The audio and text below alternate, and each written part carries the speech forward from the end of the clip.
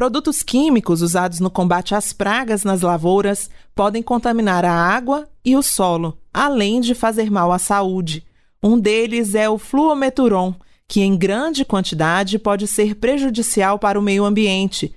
Para identificar a presença desse herbicida na água, pesquisadores da Universidade Federal de Santa Catarina criaram um método mais simples e portátil, como explica a professora Cristiane Luiza Yost. Pode ser levado para campo, o que possibilita análises rápidas e logo após a coleta da amostra, o método atende à legislação para flumeturon, então ele é sensível o suficiente para detectar o composto em águas, por exemplo.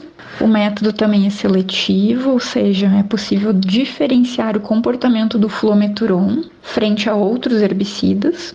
Ainda a menor geração de resíduos e redução de custos em relação a outros métodos de análise. O uso do fluometuron é proibido na maioria dos países da União Europeia. Já nos Estados Unidos, só pode ser aplicado na lavoura de algodão. Aqui no Brasil, não há restrição.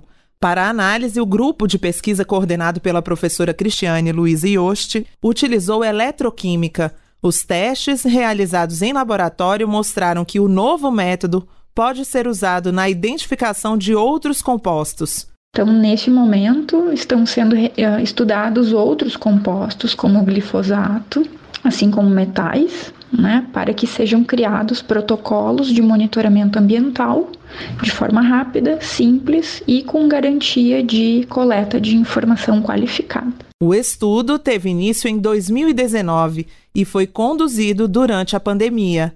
Da Rádio Nacional em Brasília, Beatriz Evaristo.